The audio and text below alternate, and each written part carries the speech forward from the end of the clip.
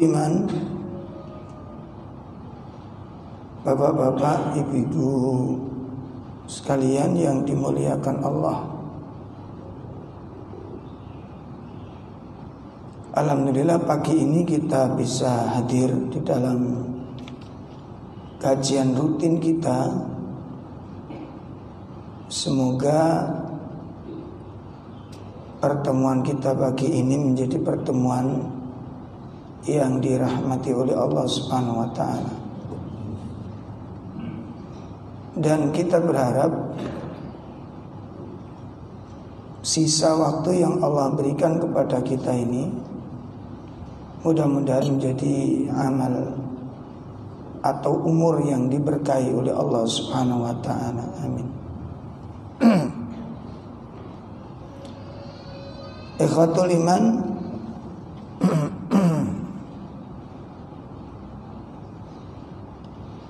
Sebagaimana biasanya kami ingatkan untuk diri kami sendiri Sebagai evaluasi harian Sudahkah kita Ketika bangun tidur langsung kita berzikir kepada Allah yakni dengan membaca doa setelah bangun tidur. Karena bisa jadi ketika kita terbangun tergesa-gesa kemudian segera kita ke kamar mandi tanpa dengan berzikir kepada Allah Subhanahu wa taala. Kemudian kami ingatkan hari ini merupakan Sayyidul Ayyam Hari Jumat merupakan hari yang paling utama yang Allah berikan kepada orang-orang mukmin. Dan Rasulullah menganjurkan kita setiap hari Jumat untuk membaca surat Al-Kahfi dan dianjurkan kita untuk memperbanyak bacaan solawat kepada Nabi Shallallahu Alaihi Wasallam. Nah, ikhwatul iman Begitu pula nanti setelah kita kajian jangan lupa zikir pagi dan petang sebagaimana diajarkan oleh Nabi SAW karena zikir pagi dan petang ini merupakan bagian dari hisnul muslim. Perisai seorang muslim. Saya mengingatkan tadi ini Ini karena uh, Banyak dari kalangan kita ini Kalau ngaji sudah lama itu justru amalannya berkurang. Kalau ngaji pertama baru kenal sunnah, baru kenal Quran tuh amalnya luar biasa. Dan tidak sedikit yang tadi saya sampaikan orang-orang yang aktif di dalam kajian-kajian itu ternyata amal-amal hariannya, ibadah-ibadah hariannya ini banyak yang morat-marit seperti baca Quran di rumah, membiasakan baca Al-Kahfi setiap hari Jumat. Ini kadang-kadang marat-marit. Makanya kami mengingatkan kembali. Begitu pula setelah kita adakan evaluasi dalam kajian-kajian kita, dalam pertemuan-pertemuan kita ada dua hal yang perlu diingat dan diperbaiki lagi.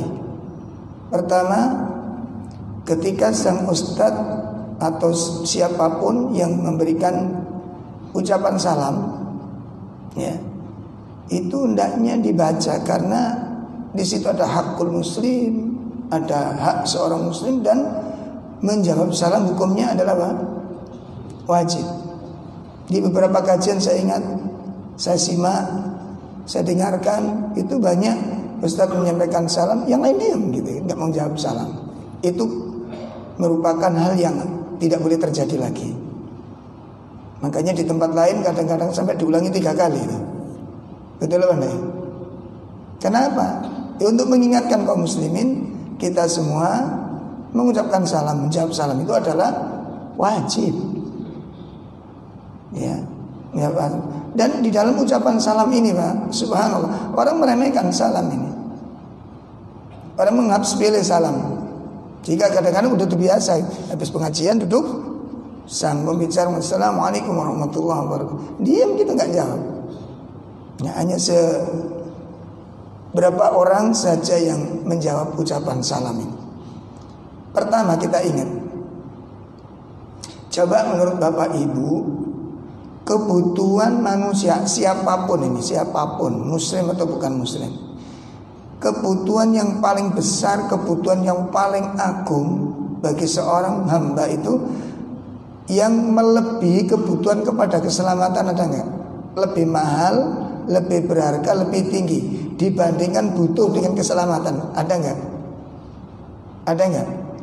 kebutuhan yang lebih tinggi kedudukannya dibandingkan kebutuhan dengan keselamatan. Ada nggak? Kebutuhan keselamatan itu nomor berapa? Dan itu diucapkan di dalam salam itu. Itu diucapkan di dalam Assalamualaikum. Itu kita sedang di apain? Didoakan apa? Selamat ya Allah. Kita santai gitu kan jawab Masya Allah Nggak kepingin selamat gitu kan Ini di mana mana Pak. Saya lihat kok aneh ya kurang. Makanya di tempat lain Ini kok gak bergairah. Akhirnya sang pembicara Saya ulangi lagi. Assalamualaikum. Sampai di, dipandu kayak upacara begitu. Mestinya kita tidak boleh demikian. Itu yang pertama yang perlu saya ingatkan. Yang kedua Ketika nama Nabi disebut kita dianjurkan ngapain? Dalam salat. Jani ilmu ini ngerti saja ini. Dan banyak ketika kita Nabi disebut Sallallahu Alaihi Wasallam di kita pun diam gitu. Padahal Nabi mengatakan apa? Orang yang paling bakhil dan orang yang paling kikir pada hari kiamat dan orang yang paling merugi di hari kiamat nanti adalah ketika di dunia ketika namaku disebut dia tidak mengucapkan salawat atasku. Nah, tentunya orang-orang yang sudah mulai kenal sunnah, apalagi mengatasnamakan diri kita ini pecinta Rasul, maka jangan sekali-kali ketika Nabi diucapkan bacaan namanya, kemudian kita diem. Itu dianjurkan kita membaca salawat atasnya. Ini yang perlu kami ingatkan, ya. Saya tidak mengatakan semua begitu, tapi kebanyakan sekarang nggak memperhatikan masalah-masalah seperti ini.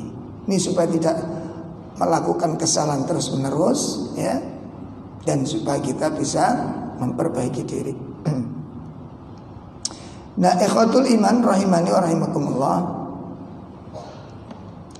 Kajian kita pagi ini kita akan langsung membahas hadis berikutnya tentang babul murokobah bab masih tetap bab murokobah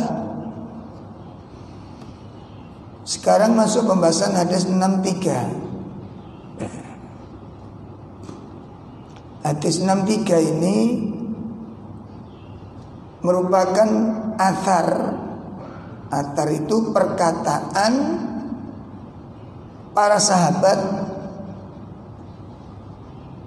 radhiyallahu anhum karena perkataan para sahabat juga merupakan dalil. Ya ucapan para sahabat juga merupakan dalil. Merupakan hujah bagi seorang muslim. Asar ini dari sahabat Anas radhiyallahu an. Kala beliau berkata Innakum Sesungguhnya kalian La ta'maluna a'malan. Sungguh benar-benar melakukan suatu amalan. Hia yang amalan itu adaku A'yunikum. Minas sa'ri. Ya. Di mana amalan tersebut menurut pandangan kalian lebih kecil daripada sehelai rambut. Ini maksudnya apa ini, Pak? Ribon? Jadi amalan yang menurut manusia lebih kecil daripada sehelai rambut. Ini maksudnya gimana? Amalan itu amalan yang sangat kecil, yang sangat remeh. Ini terjadi pada zaman sahabat Anas. Jadi sahabat Anas itu menyaksikan, melihat, ya, mengalami masa di mana pada waktu itu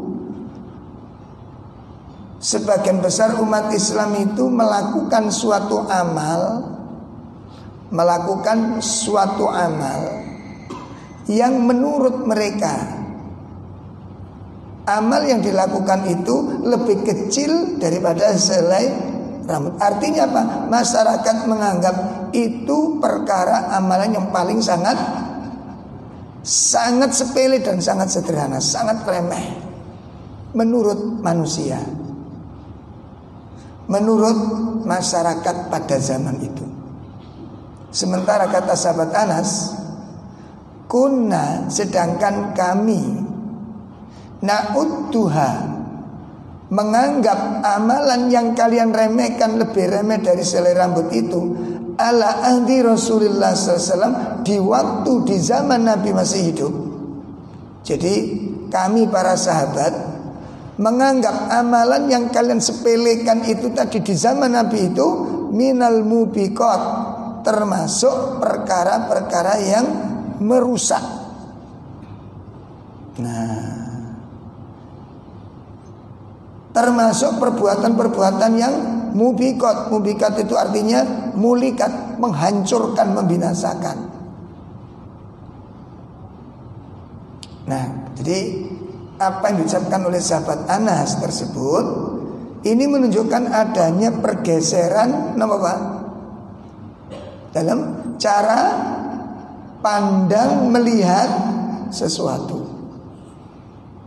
Jadi sahabat Anas mengomentari, menasihati, sungguh kalian di zaman sekarang ini telah melakukan perbuatan yang menurut kalian itu sepele. Tapi kami di zaman Nabi dulu menganggap masalah yang kamu remehkan itu masalah yang paling membinasakan.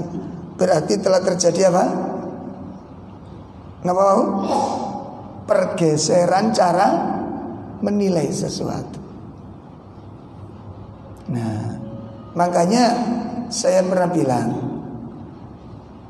kalau bab-bab yang dianggap sepele itu tidak disampaikan dan tidak diamalkan, maka tunggulah Islam nanti satu persatu syariat dan akhlak-akhlak Islam ini tidak ada lagi nanti. Satu persatu. Sementara di zaman kalau kita lihat di zaman Anas sudah terjadi pergeseran cara pandang ini menunjukkan nanti di zaman kita kayak apa ini. Ya, satu saat akan hilang sunnah-sunnah bersisir sebelah kanan hilang. Baca doa cermin hilang. Doa masuk masjid hilang. Adab-adab hilang. Kenapa? Karena dianggap sepele. Dan nanti pada masalah kita tidak lagi mengenal ajaran itu. Karena di waktu kita kita sudah menyepelekan. Coba saat ini bapak-bapak ibu pikir, renungkan. Kalau di zaman kita kita remehkan amal-amalan seperti ini, tertarik nggak bapak ibu untuk mewariskan ke anaknya? Dalam kalau panjenengan meremehkan contoh, ini contoh Wudhu sebelum tidur Wudhu sebelum Kalau bapak-bapak tidak tertarik mengamalkan Dan tidak tertarik menjaga Dengan anggapan wong iku sepele wong sunah aja Kira-kira jenengan tertarik untuk mewariskan ke anak dan cucunya? Dalam berarti amalan ini terancam hilang. Punah nanti pak, hilang. Kenapa? Hilangnya amal itu disebabkan apa? Pripun? Hah? Karena tidak diamalkan. Nih, makanya ini perlu diingatkan kepada kita semua. Baik hadis ini atau asar ini diriwayatkan oleh Imam Al-Bukhari ya dan hadisnya sahih. Nah, pelajaran apa yang kita bisa petik dari hadis ini, dari asar ini? Kira-kira pelajaran apa yang bisa kita petik dari asar ini? Yang pertama, ini pelajaran nasihat bagi kita ini dari peristiwa ini. Yang pertama, Al istighfaru bidzanbi yadullu ala qillatil khasyah minallahi ta'ala wa huwa imaratun nifaq. Masya Allah. Meremehkan suatu dosa Ulangi Meremehkan suatu dosa Ini menunjukkan ala kilatil khasya minallahi ta'ala. Menunjukkan tentang tipisnya rasa takut kepada Allah. Saya ulangi. Meremehkan suatu dosa menunjukkan bahwa ini merupakan tanda-tanda tipisnya sedikitnya rasa takut kepada Allah. Dan Wahwa imaratu nifak Dan itu bagian tanda-tanda kemunafikan. Masya Allah. Nah Meremehkan suatu dosa Menunjukkan Tipisnya rasa takut kepada Allah Ta'ala Dan itu merupakan tanda-tanda kemunafikan alal akasi man isti'zamahu fa innahu yadullu ala kumalil khasya wa azimul muraqabatu lillahi ta'ala. Sebaliknya sebaliknya kalau ada orang menganggap besar suatu dosa ada orang menganggap besar suatu dosa maka Sikap yang demikian itu menunjukkan tentang sempurnanya rasa takut kepada Allah. Jadi kalau ada orang itu menjaga diri betul dan takut terhadap dosa, menganggap besar suatu dosa, tidak meremehkan dosa, tidak meremehkan masalah, tidak meremehkan kewajiban, itu merupakan tanda-tanda apa? Eh? Sempurnanya rasa takut kepada Allah dan wa'adimul muraqabah dan menunjukkan agungnya sikap muraqabah dia kepada Allah Subhanahu wa taala. Kama fi hadisin Abdullah ibnu Mas'ud radhiyallahu an sebagaimana yang telah diriwatkan dalam sebuah hadisnya sahabat Abdullah ibnu Mas'ud radhiyallahu an. Apa Nabi mengatakan dalam riwayat Imam Al Bukhari, Innal mu'min. Perhatikan. Innal mu'min. Sesungguhnya orang mukmin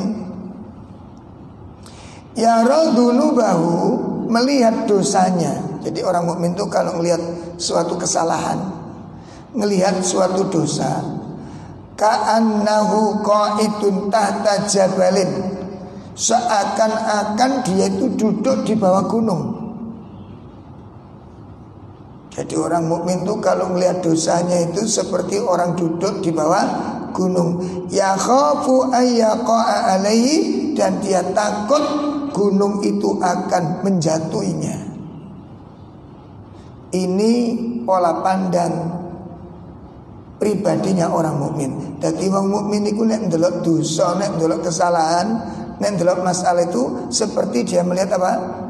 Seakan-akan dia duduk di bawah gunung lalu dia takut gunung itu akan menghancurkan dirinya. ya meruntuinya akan menjatuhinya sehingga dia akan terbunuh di situ itu pandangan orang mukmin kalau melihat suatu dosa itu pribadinya orang mukmin sebaliknya wa inal fajir sesungguhnya pelaku-pelaku dosa orang yang suka berbuat dosa artinya apa munafik kalau orang munafik melihat dosa itu ya rodunu bahu melihat dosanya itu kadzubabin marra ala anfi. Seperti orang melihat seekor lalat hinggap di hidungnya. Gimana Pak? Kalau orang melihat lalat hidungnya gimana? Hah? Sepele kecil lah. Kan gitu kan? Jadi kalau panjenengan dianjur lalat di irung ini beribun sepele, sepele. Subhan ini sikap Pak. Ini sikap. Mari kita mulai dari evaluasi diri. Contoh Siapa di antara kita Yang apabila sudah melihat waktu sholat bergegas untuk mempersiapkan diri tanpa menunggu suara adzan atau ikomat terlebih dahulu. Ini persoalan saya katakan ini persoalan sangat sepele menurut kita. Saya ulangi lagi.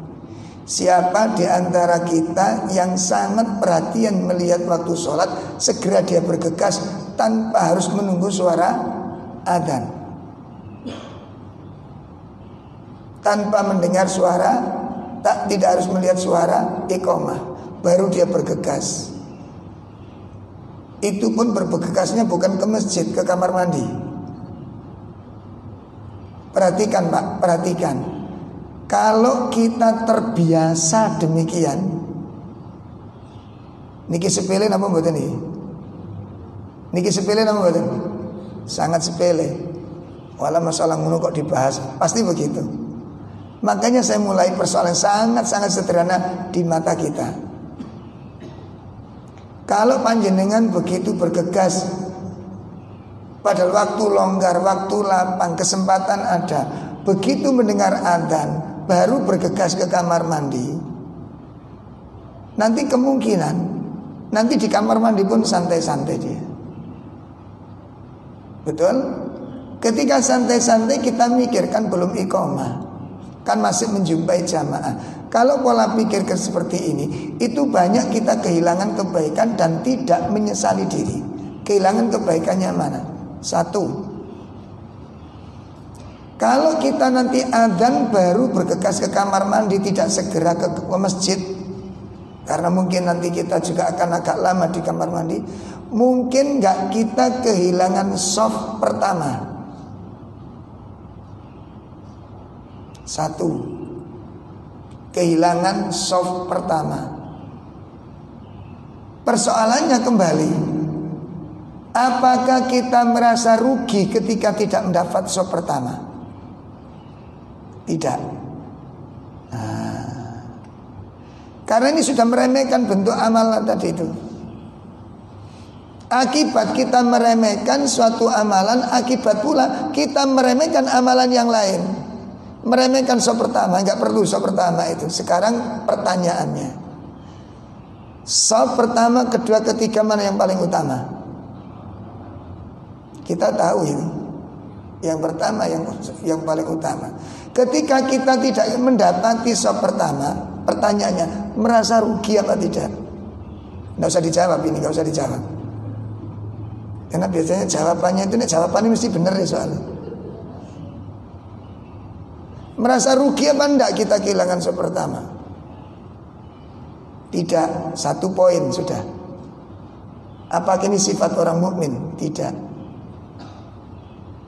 Siapa di antara kita kehilangan keutamaan tidak mendapatkan keutamaan seperti orang lain tidak merasa rugi. Coba samen hidup di satu perumahan, tonggo samen kanan kiri tuh mobil kabeh, samen ijen nggak merasa punya mobil. Apa yang Anda rasakan?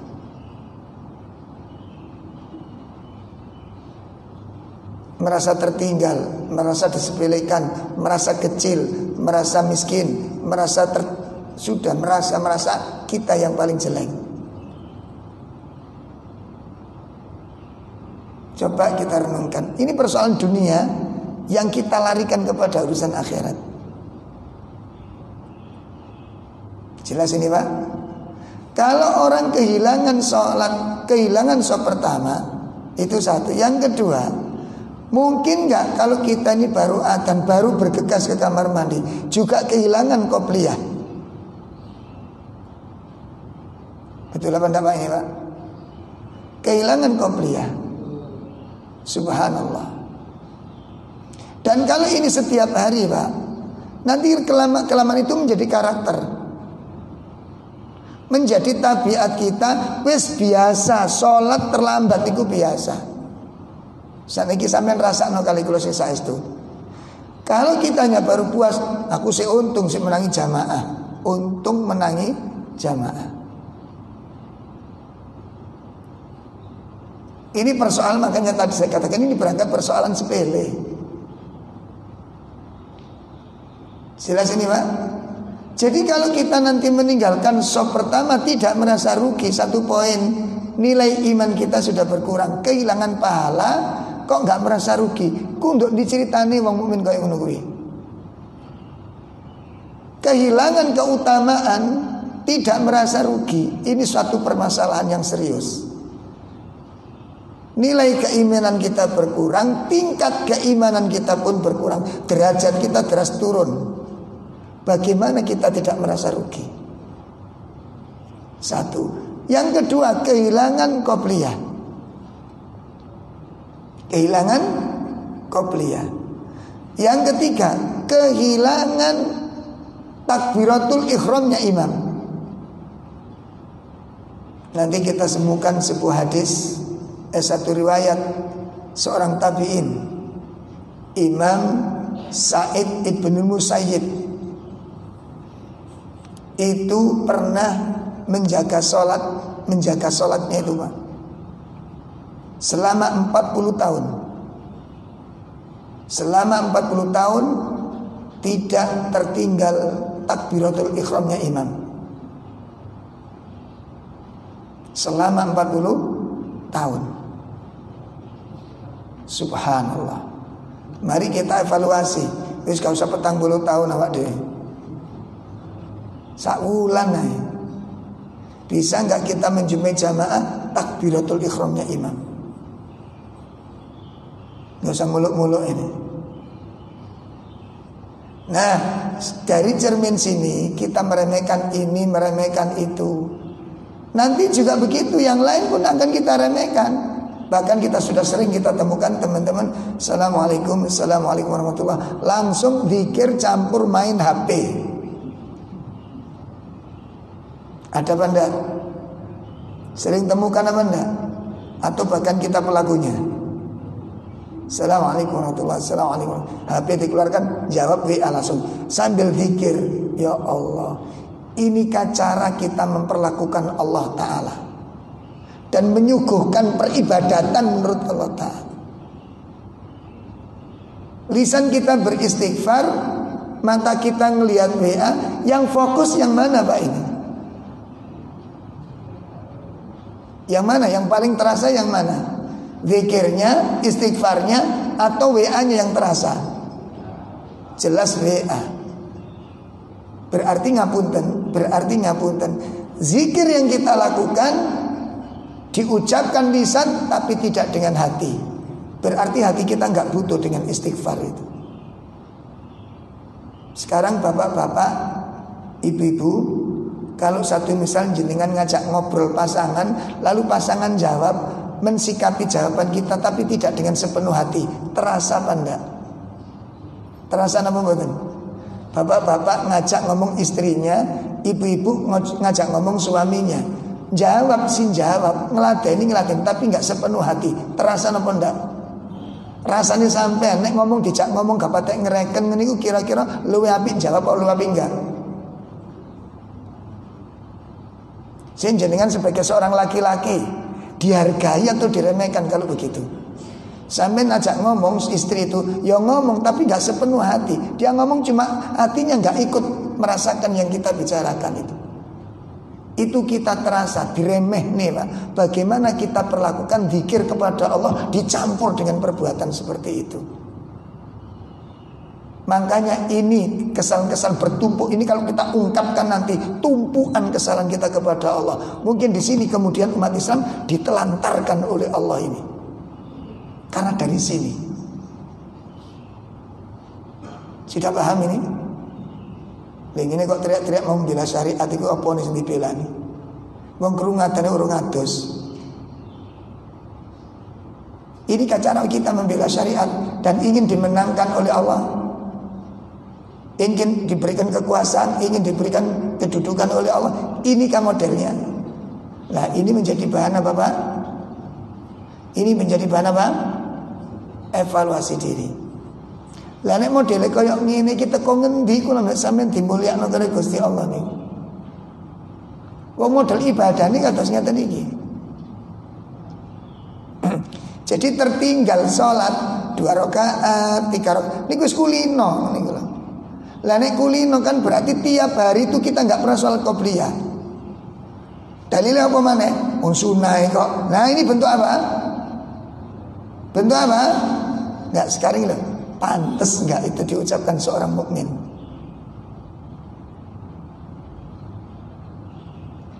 Permasalahan berikutnya bukan cuma dia nggak merasa rugi. Persoalan berikutnya ini dia nggak merasa salah.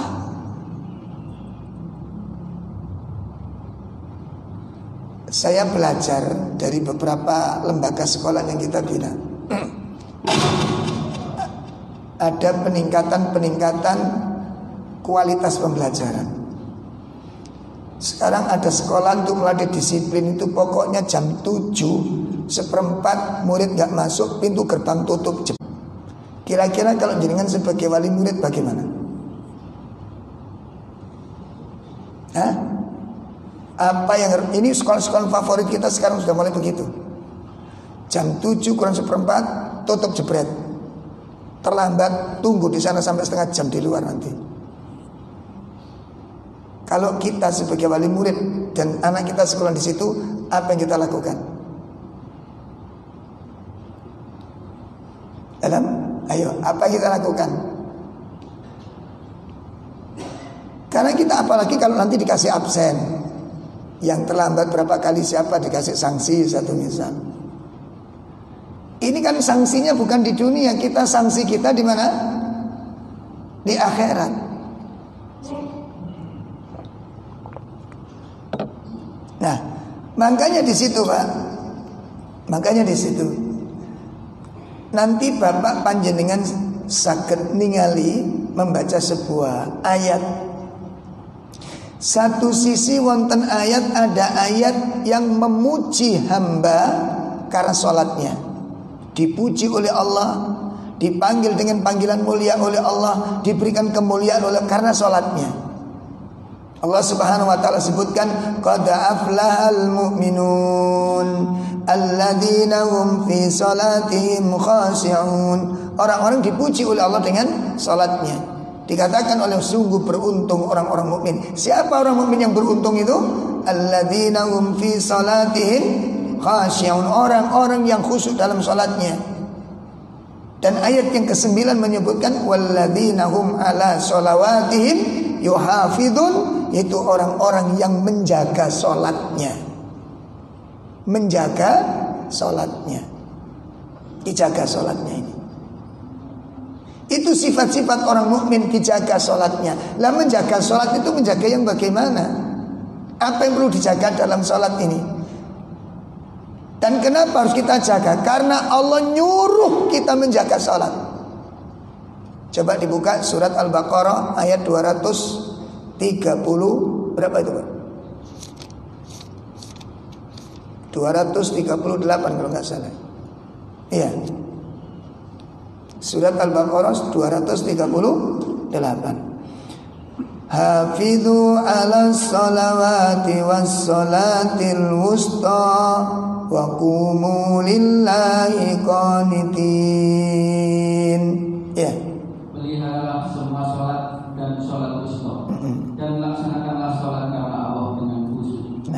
Coba kalau nanti kita lihat tafsirnya Hafidhu ala sholawat Jagalah olehmu sekalian akan sholat-sholat kalian Lah yang perlu dijaga apa ini? Yang perlu dijaga Yang pertama adalah awqatiha Waktu-waktunya Lah menjaga waktu ini kupripun Pak? Nah ini konsekuensi lagi Menjaga waktu itu bagaimana? Menjaga waktu itu otomatis Orang kalau begitu mau masuk waktu sholat itu penjagaannya itu sebelum pelaksanaan waktu itu sudah ada persiapan. Itu namanya jaga. Jadi menjaga itu adalah konsekuensinya itu di situ. Sama dengan kalau bapak-bapak kena penyakit jantung.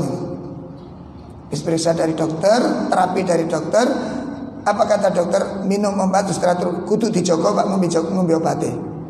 Pagi Jam 7 harus minum obat. Jangan sampai lebih. Kata dokter bilang Jangan sampai lebih jam 7 Apa yang anda lakukan? Saya punya jamaah banyak. Kalau ikut kajian pagi niku, Di tas niku pak Di samping bawa Quran Itu nggak lontong pak. Jadi tas niku isinya Lontong Nek gak ngono. Apa jenenge? Tahu lek gak ngono. Apa jenenge Ya yes, pokoknya cemilan makanan sing dikonsumsi. Kenapa? Ini anjuran dokter. Lho ngono. Jadi sampai nek kena jantung meni sang ning ngajir ini sang lontong. Jam 7 harus sudah dibuka, harus sarapan Pak, harus itu. Makanya ini tepat waktu. Coba anjuran dokter kayak begitu menjaga. Nah, sekarang bagaimana Allah perintahkan Jagalah olehmu sekalian akan sholat-sholat ini. Yang perlu dijaga apa? Yang pertama waktunya. Nah oleh karena itu bapak-bapak sekalian Makanya tadi kalau orang sudah mulai modalnya meremehkan Meremehkan Pasti nanti habis kehilangan pahala Meninggalkan syariat Meninggalkan sunnah pun dia tidak menyesal. Meninggalkan sunnah pun dia tidak menyesal menyesal. Pertama dia remehkan suara adzan. Niki macam-macam bentuk meremehkannya tadi. Ono sing tetep si main HP tetep HP-nya dijalankan. Coba bisa mboten jenengan mulai sekarang. Mulai sekarang ini berniat di dalam hatinya ini. Begitu sudah mantuk waktu sholat, saya berikan waktu ini untuk Allah. Bisa enggak? Dan nggak usah muluk-muluk. Pernah kita bela apanya? Ini kita tabrus, saya bilang kita tabrus, saya bilang itu. Nggak usah muluk-muluk kita. Ini cara kita, lagi ini cara kita. Masya Allah. Lang dengar adzan kita masih gedua apa namanya? Main HP, jawab WA, baca Facebook, si koper. Adzan sudah dikumandangkan. Ada syariatnya sudah ditinggalkan apa enggak? Ada apa enggak? Syariat apa Pak? Menjawab adzan. Gak pada direken. Sementara Nabi menganjurkan gimana? Nabi menganjurkan gimana? Kalau dengar adzan Bisa iki pertanyaan Berapa lagi syariat yang kita remehkan ini? Berangkat dari satu persoalan Makanya ngerembet pak Tolong ini diperhatikan dengan baik. Tolong ini diperhatikan. Akhirnya apa? Siar hilang, sunnah diremehkan. Dan ini nanti dampaknya tuh banyak ngerembet. Makanya Pak, kebakaran hutan ribuan hektar itu dari mana asalnya? Hah? Terbakar, terbakarnya hutan ribuan hektar itu dari mana asalnya? Dari percikan api yang tidak disegera dipadamkan. Nek kita ini ngerti ya, nek kita ini ngerti. Ya? Kita coba mbek bahasa Jawa mbu sampai mudeng paurai. Kalau kita ini meremehkan satu amalan dalam Islam, itu pasti ngerendet meremehkan yang itu pasti nggak pakai enggak itu. Pasti sudah. Dan persoalannya sampai kapan? Nah, ngaten sampai kapan? Saya di mana-mana Pak kalau saya sholat, saya lihat masya Allah ini ini kaum muslim. Bahkan ada yang santai santai main apa sini ya? Ini sudah dikumandangkan seenak santai duduk di La Inilah cermin dan inilah potret umat Islam terhadap agamanya. Kalau umat Islam seperti ini mensikapi agamanya, lalu kita nuntut orang lain menghormati agama kita tak kongen diceritane. Kita nuntut orang lain segan dengan agama kita dan ya ini yang kemudian dicabut rasa segan oleh Allah hati-hati kaum orang-orang kafir dari hati mereka kepada kaum gak segan sing disungkan apa nih wong Islam koyo ini model kok disungkan itu kok ngendi Dimuliakan dari mana? Wong umat Islam gak memuliakan agamanya kok dimuliakan? Dari mana ketemunya? Makanya diremehkan dan kita lihat bagaimana orang kafir, orang munafik, mengata-ngatai agama Islam, mengucapkan penilaian buruk kepada agama. Kita lihat, saya katakan itu wajar terjadi. Kenapa? Karena umat Islam sudah tidak memuliakan agamanya sendiri. Ini sebagai balasan dari Allah Subhanahu wa taala. Intan surullaha yang surkum. Jika kamu menolong agama Allah, maka Allah akan menjagamu. Fadkuruni adkurkum. Ingatlah kamu kepadaku, maka aku akan ingat kepadamu. Lah kalau kamu kamu meremehkan agamaku, maka apa kata Allah? Aku pun akan meremehkan kamu dan merendahkanmu dan pantas kalau kemudian umat Islam diremehkan orang kafir, dilecehkan orang kafir, dicemooh orang kafir dan menjadi bahan tertawa orang kafir. Kenapa? Hati orang kafir sudah tidak ada rasa segan kepada umat Islam karena umat Islam telah meninggalkan agamanya. Paham ini Pak? Ini persoalan pertama maka jangan diremehkan. Jadi, jadi coba mulai sekarang, ya Bapak Ibu, dilatih anak-anaknya, cucunya. Begitu dengar adzan, sudah ini waktu milik Allah. Sampai selesai sholat, sampai zikir, sampai doa. Ini waktu untuk Allah. Setelah ini loh Pak, hitung-hitungannya kayak gini loh Pak. Kalau saya sendiri kadang-kadang terjebak begitu. Nah makanya nek, nek saya nyekel HP, wis tak iso iso api ora iso Pak sampean. Ibadah ini mesti campur baru tidak karu-karuan. Sudah putuskan. Begitu sudah masuk waktu sholat. Tek matikan HP. Masukkan ke tas. Selesai. Sehingga hari serem itu sampai cekel. Paham betul nih?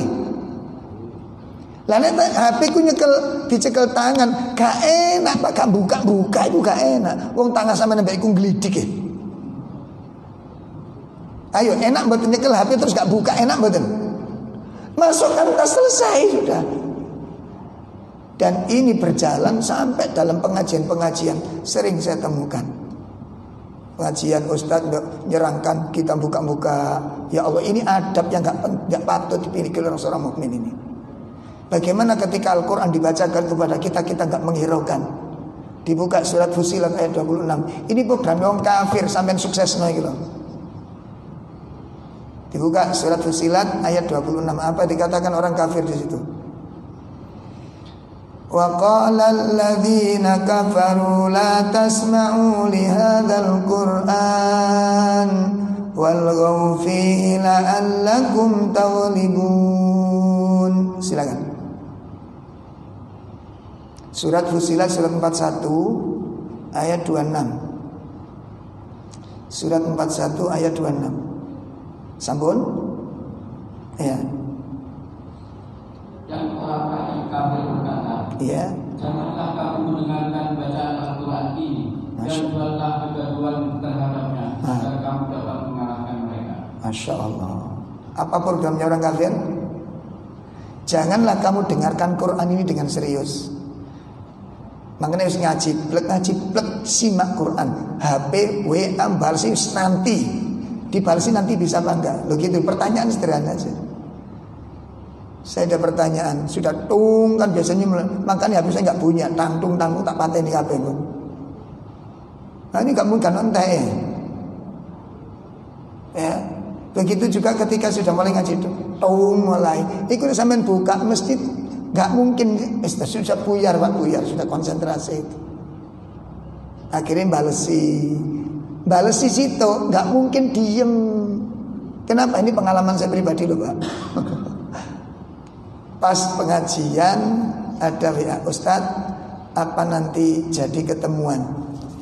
Samen balesi jadi insya Allah. Selesai?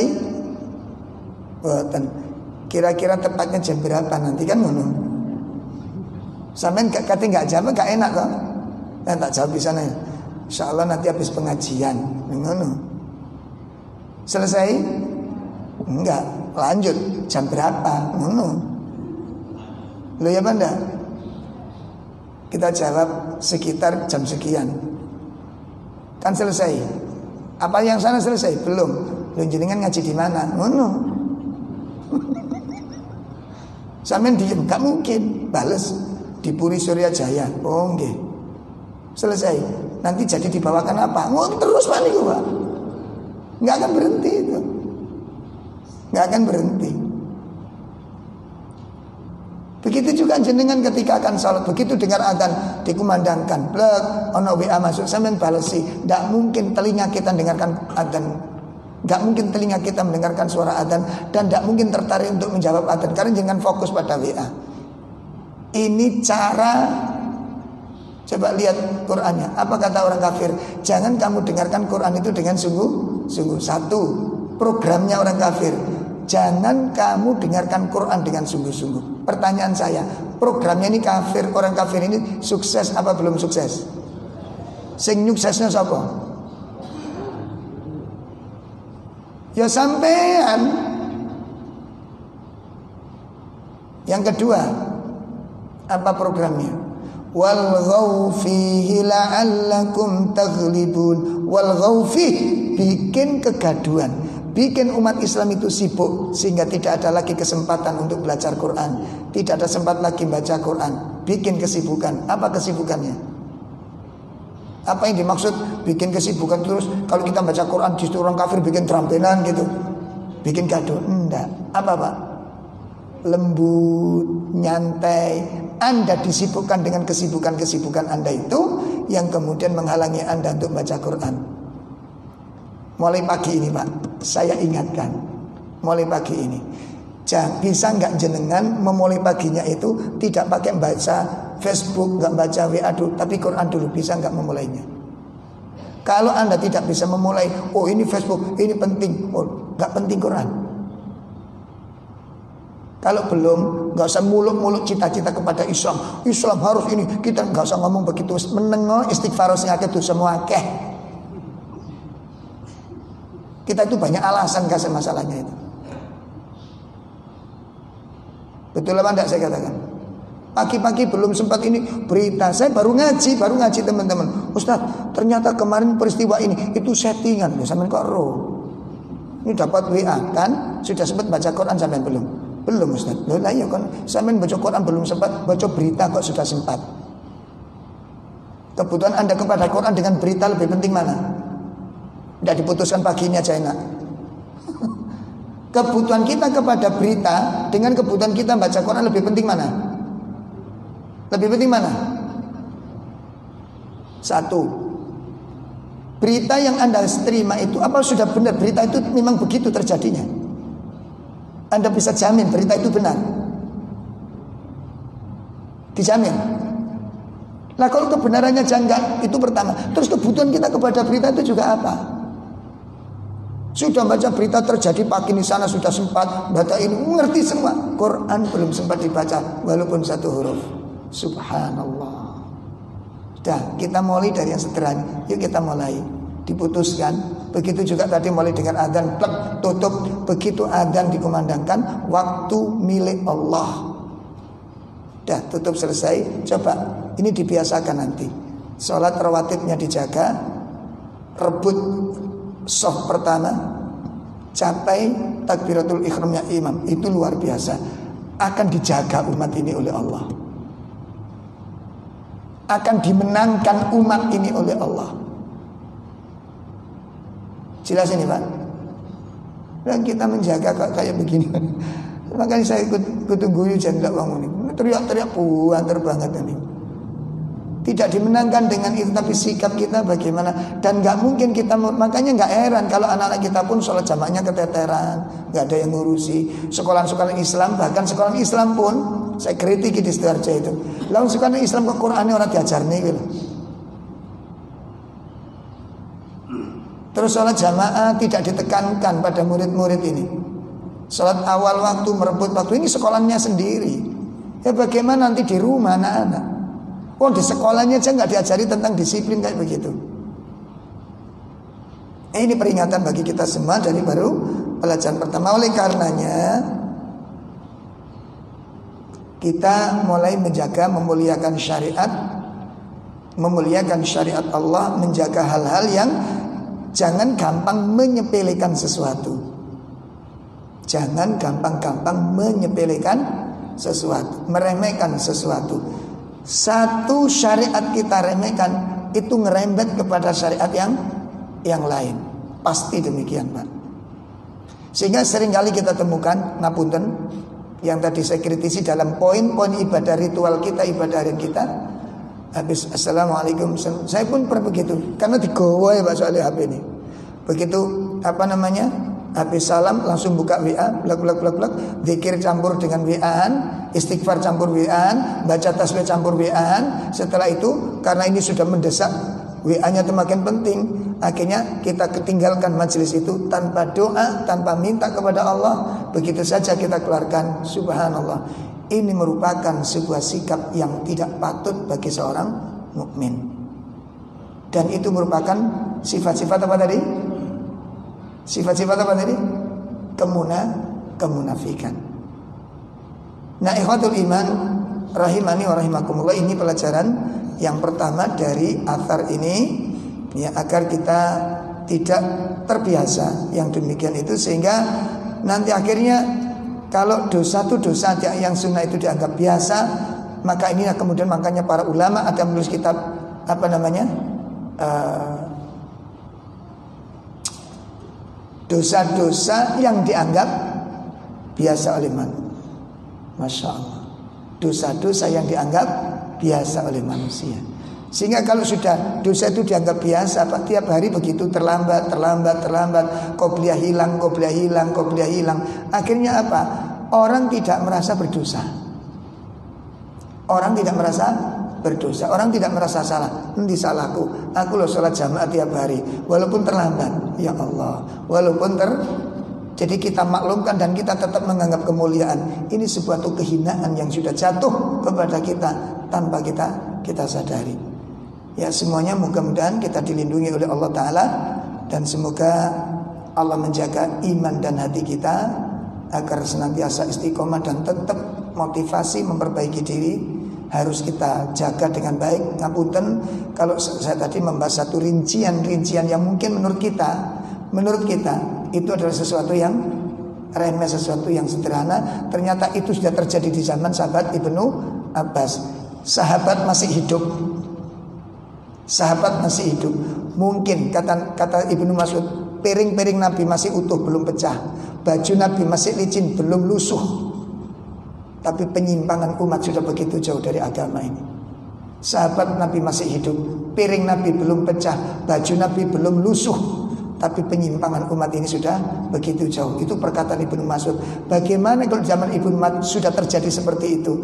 Lalu bagaimana di zaman kita? Maka kita harus berusaha untuk menjaga diri ya merawat keislaman dan keimanan ini agar tidak lepas dari diri kita. Ingat terakhir lepasnya iman tidak begitu langsung, Pak, tapi pelan-pelan. Seperti tadi seperti rumah yang ambruk itu langsung berek gitu atau gimana? Hah? Pertama dari mulai apanya? Pelan-pelan. Ini mungkin remnya dulu. Ya keropos satu dibiarin. Nggak segera diperbaiki. Akhirnya betul-betul ambruk total. Dan itu tidak kita inginkan. Agama dan keimanan di dalam diri kita Demikian kurang lebih mohon maaf kajian kita pagi ini. Mudah-mudahan menjadi ilmu yang bermanfaat dan mudah-mudahan atas khilaf-khilaf yang kita lakukan semoga Allah memberikan kesempatan untuk bertaubat dan memperbaiki diri dan semoga waktu yang masih tersisa mudah-mudahan menjadi umur yang diberkahi oleh Allah Subhanahu wa taala. Sallallahu ala nabiyina Muhammad subhanakallahumma bihamdika asyhadu an la ilaha illa anta astaghfiruka wa atubu ilaik. Assalamualaikum warahmatullahi wabarakatuh.